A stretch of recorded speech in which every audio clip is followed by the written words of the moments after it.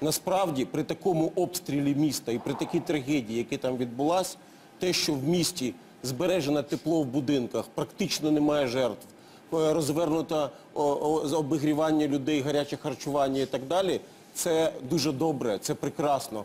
Уряд, керівники, е, голова адміністрації на місці, голова уряду зразу прибув на місце. Всі області почали виділяти допомогу.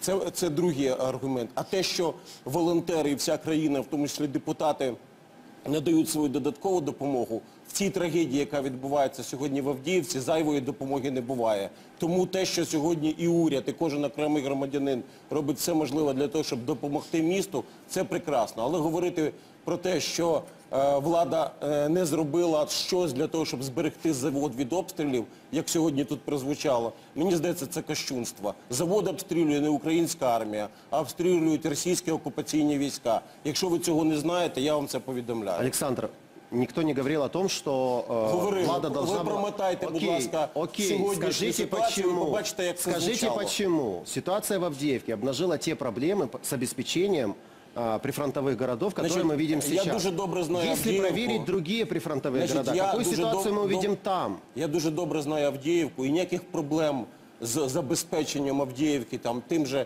харчуванням чи з чимось іншим не було.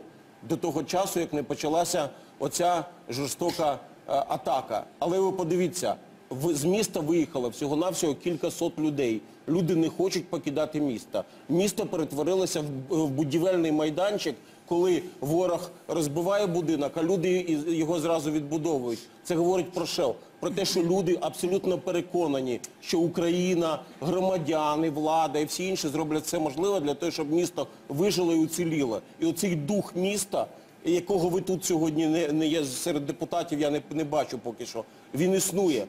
Жителі міста не хочуть виїжджати з міста. Вони вірять в те, що все нормалізується. І, за, і не тільки за допомогою волонтерів, які дещо важливе привозять, це безумовно. Тонами йде допомога від людей і так далі, так далі. Але і завдяки тому, що гаряче харчування е, розгорнуто, е, мі- де обігрітися є можливість, е, вода підвозиться.